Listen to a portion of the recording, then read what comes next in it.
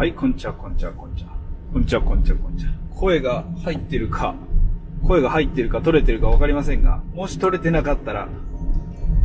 えー、アテレコ。はい、アテレコっていう形になるかなと思います。でですね、本日はちょっと打ち合わせ、撮影のね、結婚式の打ち合わせ、結婚式の撮影の打ち合わせですね。で、ちょっと、出かけなければいけないっていうことで、で車を走らせてるわけなんですけど、声取れてんのか、これ。ちょっとまあ、ちょっと雑談しながら走っていこうかなっていう感じです。なんか車載動画久々ですよね。で、しかもなんかこのこっち方向、その、こっちが映る方向は久々、久々というか初めてなのかなちょっとどうだかわかんないですけど、えー撮影しております。で、あの、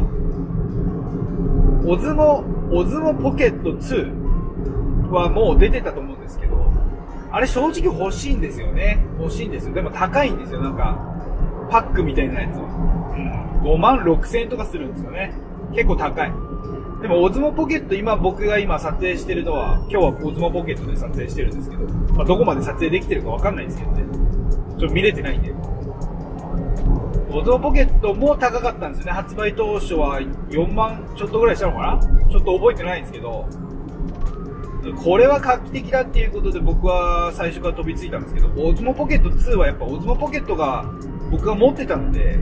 まあいいかなっていう感じで、まあ買っていなかったんですけど、なんか空張り？空張りで、あのーなんか、ホワイトが出るみたいらしくて、うんなんかホワイト欲しいなっていう感じになってます。ただ高いよね。ただ5万6千円ぐらいするんで、めっちゃ高いなっていう感じなんですよね。そうだからどうしようかなって悩んでるところです。なんかね、オズモポケット、今撮影してるオズモポケット、初期モデルは、どうし、なんだろう、どうしても画角がすごく狭い。画角がめちゃくちゃ狭いので、自撮りをした時に、あのー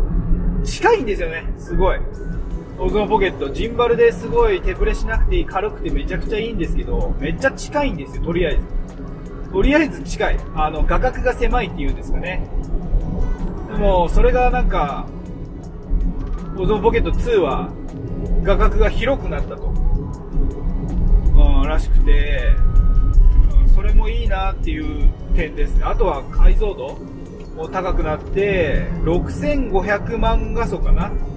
あー6500万画素の画素数があると。で、初期モデルオズモポケットは確か1000なんかでね、1200とか1600だか、そんぐらいだった気がするんですけど、かなりかあの解像度が上がって、なおかつ 4K、うん、4K60p で撮れるのかな？確か。よあ 4K60p、4K30p だからちょっと覚えてないんですけど、それで撮れるんで、めちゃくちゃいいなーっていう、反面高いよねっていう反面。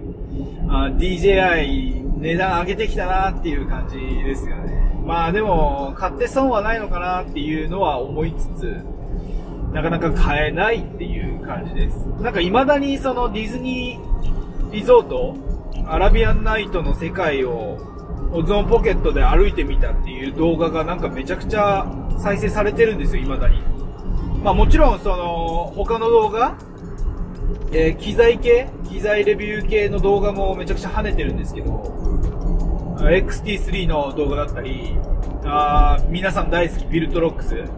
この後、ちょっと運転終わったらビルトロックスの話をしようかなと思うんですけど、現現地着いたらね、ビルトロックスの話しようかなと思うんですけど、あのーっていう動画も跳ねてるし、なんかいろいろ跳ねてって、なおかつそのディズニー、まあ最近全然行けてない、1年ぐらい行ってないかな、ディズニー。行けてないんですけど、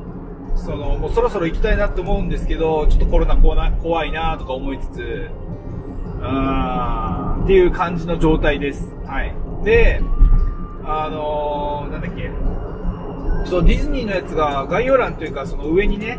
あの、載せていこうと思うんですけど、ディズニーの世界がすごいなんか伸びてる。常に毎日再生されてるっていう状況なんで、ぜひぜひ皆さんにも見ていただきたいなと思うんですけど、本当に手ぶれが少ないんですけど、ちょっと夜、やっぱ夜真っ暗なんでディズニーっていうと、とはいえ、とはいえディズニーと言っても、夜は真っ暗なんで、その、どうしてもノイズが乗ってるっていう感じなんですよ。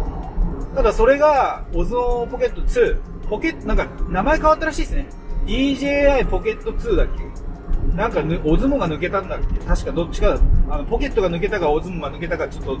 どちらか忘れちゃったんですけど、まあまあ、それ、まあ名前変わろうが、結局2は2なんですでそれで、あのノイズとか高感度も強くなったらしいんですよね。あなんか高感度も強くなって、とにかくバージョンアップが、バージョンアップしてると。あまあ、買いなのかな、どうなのかなっていう風に思ってるうちに、空張りのホワイトが出たっていう、まさかの展開でしたけど。なんかホワイト、なんかね、ブラックもかっこいいんかっこいいんですよ、すごい、ブラックも。ブラックはブラックでかっこいいんですけど、うーん、ホワイトは汚れが目立つしなとか思うと、あれなんですけど、でも、本当のガチ、ガチ話、機材的なガチ話をすると、ちょっとですよ。ちょっとですけど、あの、ホワイトの方が熱暴走しないんですよ。そう、ホワイトの方が熱暴走しないんですよ。皆さん、多分わかると思うんですけど、黒い服を着てると熱こもりやすいじゃないですか。それと同じで、あの機材も黒い、黒いと、まあみんな黒いんですけど、黒いとやっぱ比較的熱が溜まりやすい。うん。なので、あの、どうしてもホワイトの方が少しは熱が軽減される。ちょ、直射日光の時ね。直射日光の時。まあでもそんな直射日光の時そんなね、撮影すんのかって言われたら微妙ですけど、長時間撮影すんのかって微妙ですけど、どうしても室内でね、撮影したりとかすると思うんで、そんな微妙なんですけど、そう、だから、まあ難しいところであるんですけど、一応ホワイトなんかおしゃれだな。